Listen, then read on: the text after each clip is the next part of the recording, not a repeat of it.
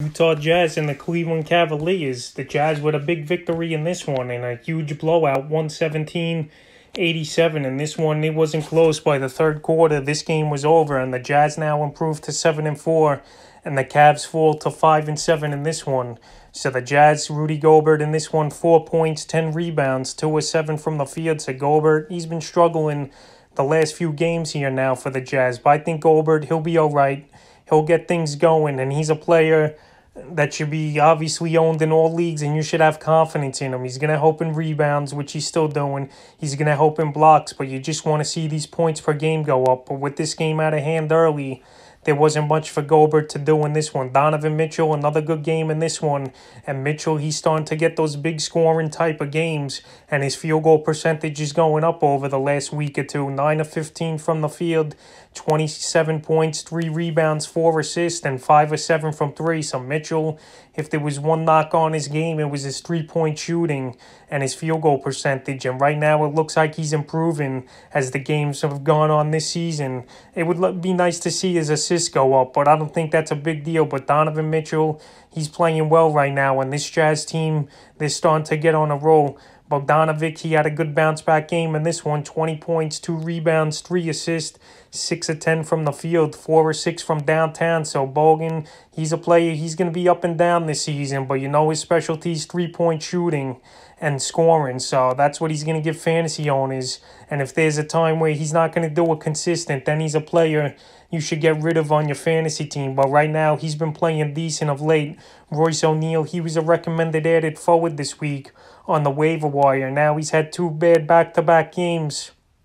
Is O'Neale. Five points, three rebounds, four assists, two or five from the field, one or four from downtown. So O'Neale, he gives you a few stats here and there but right now, his points per game have gone down. So if O'Neale struggles the next two or three games, he's a player that probably won't have value and should be dropped off for 10 and 12 team league teams. Mike Conley, another decent line in this one.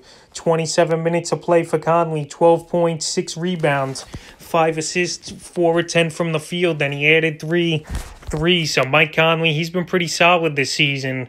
We saw him have some games over 20 points early in the year. I don't think we're going to get that from him, but anywhere 12 to 15 points with similar stat lines like this is what I could expect from Conley. Jordan Clarkson, he was another recommended pickup this week, and he's really taken off now as the six man here for the Utah Jazz 21 points, 8 rebounds, 4 assists, 5 and 9 from downtown in 28 minutes of play. So right now, Clarkson, he's scoring the basketball and he's even rebounding at a decent point pace and getting a few assists as well. So Clarkson, he definitely has value in 10 team leagues or deeper. Onuni, he got to play in here. Favors and Niang, at this time, these guys don't have fantasy value. It was just garbage time in the third and fourth quarter here where the Jazz rested the starters. Now to the Cleveland side of things, JaVale McGee, he got the start in this one. Andre Drummond, he was out with Achilles soreness. So McGee in the spot start, he had a mediocre game. Eight points, nine rebounds.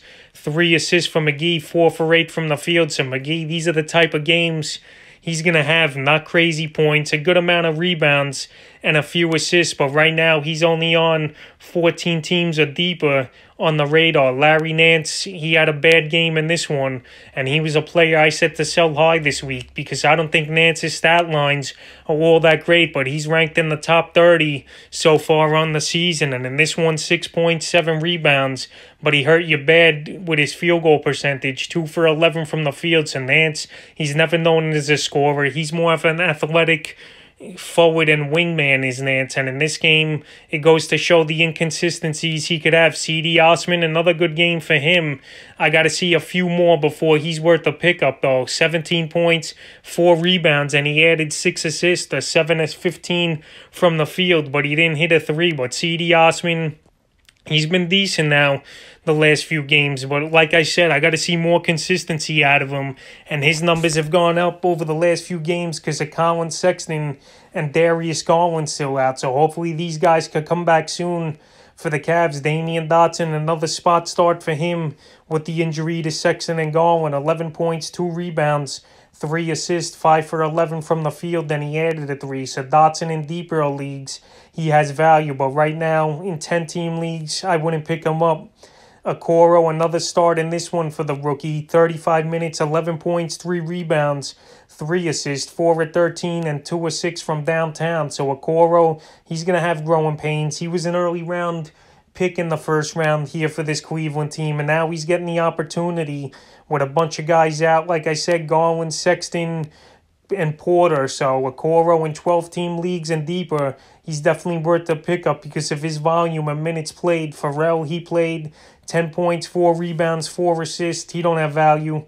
Stevens, Wade, Bolden, and Maker, they got no value at this time. So that was the Utah Jazz and Cleveland Cavalier box score.